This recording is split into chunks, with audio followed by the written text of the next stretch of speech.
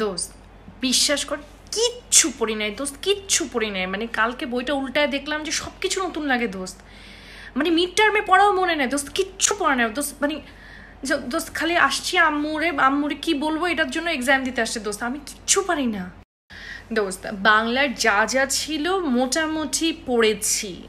হ্যাঁ মোটামুটি কবির নাম টাম সব কিছু পড়ে আসছি। হুম, মোটামুটি। কিন্তু দোস্ত, আজকে তো ইংলিশ পরীক্ষা, বাংলা না। দোস্ত আমার মনটা ভালো না দোস্ত। আমার চারবার রিভিশন দেওয়ার কথা ছিল আমি তিনবার রিভিশন দিয়ে চলে আসছি।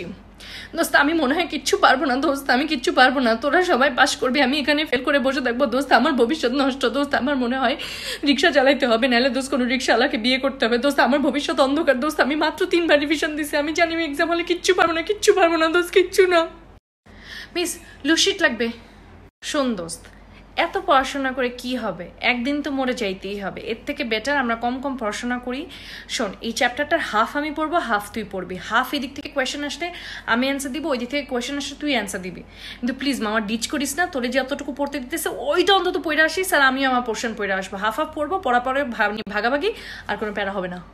দোস্ত, আমি কালকে রাতে অনেক খুইজা খুইজা একটা দোয়া পাইছি, যে দোয়াটা হচ্ছে পরীক্ষার আগের রাতে পড়তে হয়। দোস্ত, আমি সব পড়াশোনা বাদ দিয়ে ওই দোয়াটা পড়ছি।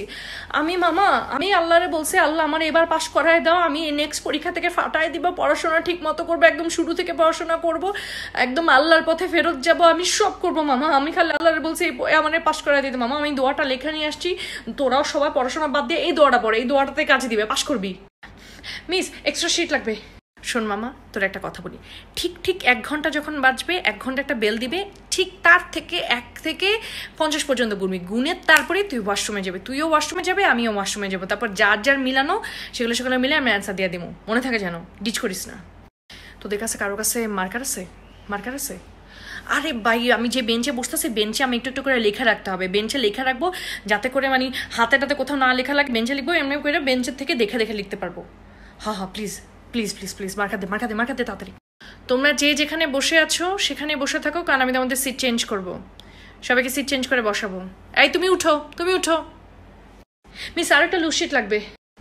আল্লাহ, দোস্ত, তোরা পড়াশোনা করিস নাই? আমিও পড়াশোনা করি নাই।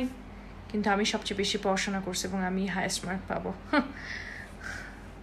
টম মিস আর একটা লুশিট দোস্ত, আমি যখন দুইটা কাশি দিব, তখন তুই বুঝবি যে আমাকে নৈবিত্তিক দেখাইতে হবে। যখন আমি একটা কাশি দিব, তার মানে বুঝছিস আমাকে পার্থক্যটা দেখাইতে হবে, ঠিক আছে? দুইটা কাশি, একটা কাশি, মনে রাখবি দোস্ত প্লিজ সূত্র ভুলে গেলেও কোনো সমস্যা নেই, কিন্তু এই কাশির কিন্তু ফর্মুলা মনে রাখতে হবে তোকে। মনে রাখিস। মামা কোয়েশ্চেনটা না মানে ডিফিকাল্ট করে না মানে পরীক্ষার আগের রাতে একটুখানি পইরা মামা এক্সাম দিছি। সারা বছর পড়লে তো মামা ফাটায় দিতাম মানে মামা মানে পড়লাম না সারা বছর পড়লে কিন্তু ফাটায় দিতে পারতাম, একদম। হ্যালো দোস্ত, সাত নাম্বারটার উত্তর বল, সাত নাম্বার। দোস্ত, সাত নাম্বারটা উত্তর আমার জানা নাই।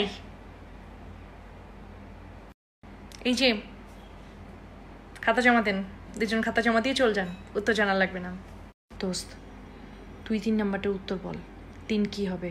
স্যার, আমার বেন চেঞ্জ করে দেন। আমার কাছে সবাই উত্তর জানতে চাচ্ছে, আমার বেন চেঞ্জ করে দেন। হ্যাঁ ও আমার কাছে উত্তর জানতে চাইছে, আমাকে অনেক ডিস্টার্ব করতেছে। আমি রুমাল দিয়ে ঢাকার পরেও দেখতেছে। প্লিজ আমার বেন চেঞ্জ করে দেন। সময় নাই। মিস মিস আরেকটা পেজ লাগবে মিস আরেকটা পেজ লাগবে। দোস্ত আমি কিচ্ছু পারি নাই। খালি তিরিশটা লুশিট নিছি। আমার টার্গেট ছিল পঞ্চাশটা নেয়া। কিচ্ছু লিখতে পারি না দোস্ত, কিচ্ছু লিখতে পারি পারিনি। আচ্ছা দোস্ত, তিন নম্বর অঙ্কের উত্তর কি সাত? সাত না? আচ্ছা গেছে।